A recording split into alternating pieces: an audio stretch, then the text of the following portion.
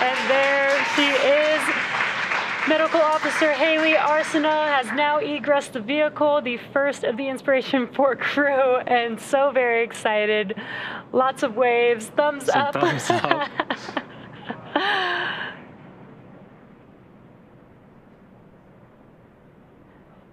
Getting a little photo up.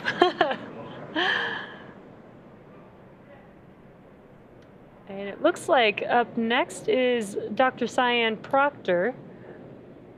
Yeah, this is very exciting for the crew to be uh, exiting the capsule and finishing their Inspiration 4 mission, a mission that's done so much uh, for folks around the world. Yes, absolutely inspiring all the way around. Just an incredible mission with an incredible crew. And here comes Dr. Sian Proctor. there she is, excited as ever. Dr. Sian Proctor. Oh, I love it.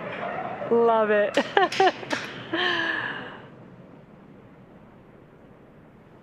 Just strutting on down. I know, no problem at all.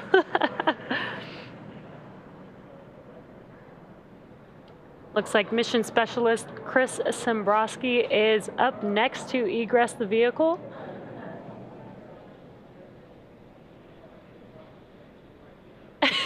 Looks like some dancing there.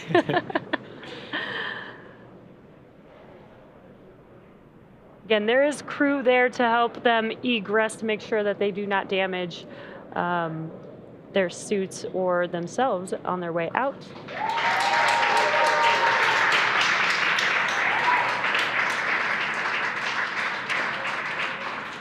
And that is Chris Dombrowski, again, the mission specialist.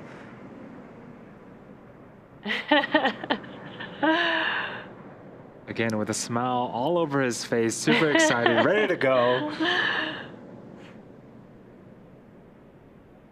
Yeah, there we go.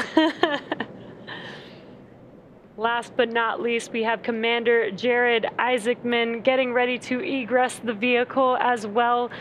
The final fourth Inspiration 4 crew member of the first all civilian crew mission to orbit. And what a way to close it out. He was really the um, uh, the the person with the vision. There he is.